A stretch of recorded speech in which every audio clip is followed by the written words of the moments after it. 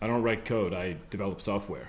If they sound like the same thing to you, they're not. One's like a five year old drawing stick figures with crayons, the other one's Rembrandt. Do you see any crayons around here? I don't think so.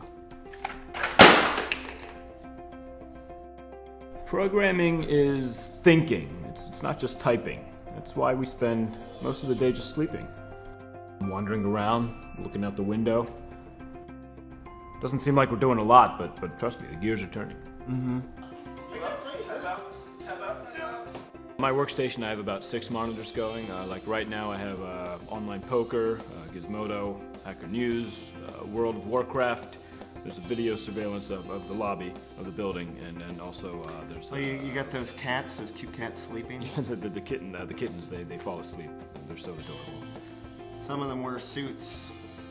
Before I work with any programmer, I ask them the chicken question, which is, if you had your way, how would you design a chicken and why? And of course, the right answer is, why do we need to design chickens? Didn't didn't God already kind of design chickens for everybody? And that shows that you can think critically. What the hell is? Did you actually design a chicken? Timmy. I'm obsessed with efficiency. That's why I'm always asking, why can't we do things faster? Why is this taking three meetings instead of one? Why am I still sitting here talking to you? How many questions am I going to keep asking and where's my Adderall? Look, I don't care how many years of programming experience you have. When I'm looking at a programmer, it's about the intangibles. Zach, I want you to write me a program that spits out the numbers 1 through 100. Any multiple of 3, it should say fizz instead of the number. Multiple of 5, it should say buzz. If it's 3 and 5, it should say fizz buzz. Can you do it? No idea how to do that. How many lightsabers do you own? 18. Goddamn hire.